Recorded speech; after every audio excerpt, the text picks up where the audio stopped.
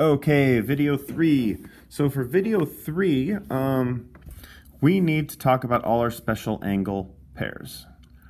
So we have um, a lot of different angles here.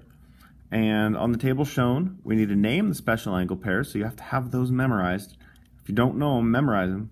And state whether they're congruent or supplementary. You may assume that the lines look parallel. That lines that look parallel actually are parallel. So that would be this one and that one, that one and that one. 4 and 15. 4 and 15.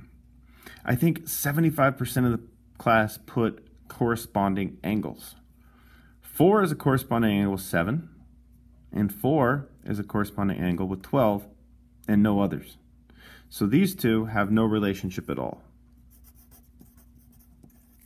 And uh, they look the same, so they are the same, so congruent. Okay, 5 and 16. So 5 and 16, here's 5, and here is 16. I got my parallel lines, and I got this transversal cruising through here. We can see that these are on the exterior of the parallel lines, on the outside, and they're on opposite sides. So those are alternate exterior angles. And if you don't have these memorized, you can research it online. There's great videos on Khan Academy about special angle pairs.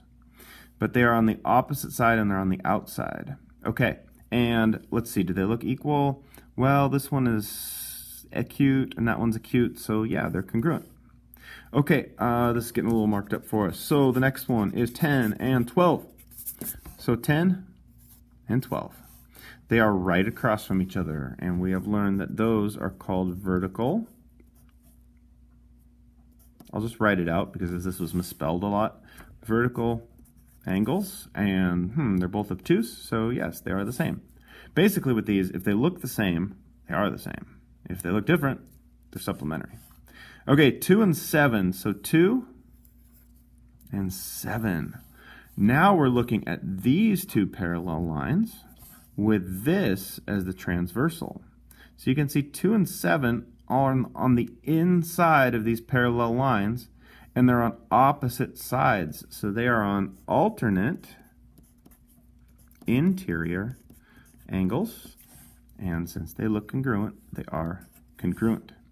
Okay, 4 and 9. Okay, so for 4 and 9, we have these two.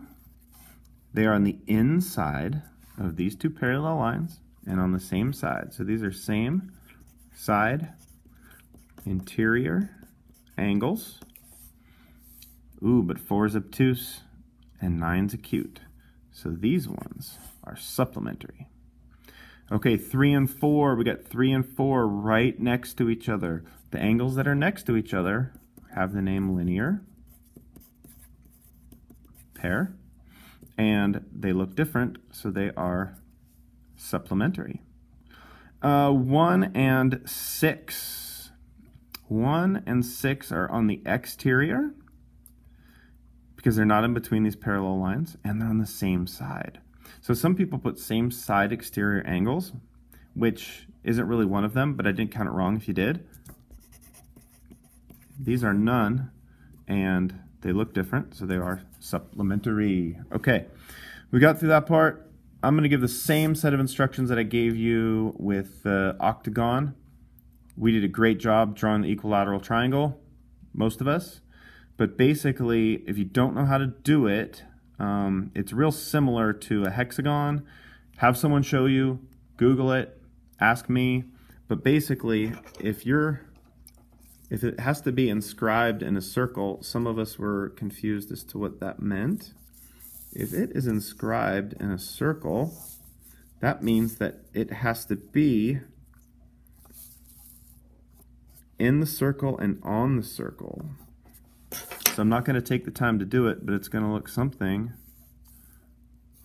like this, and you have to use congruent circles in order to do it. Okay, if you just do an equilateral triangle over here, that's not good enough, because if it's inscribed, its vertices are on the circle. Okay, uh, go for that one on your own. Um, even though I'm not doing it in the video, still got to do it. Make sure you know how to do it. If you don't know how to do it, then ask.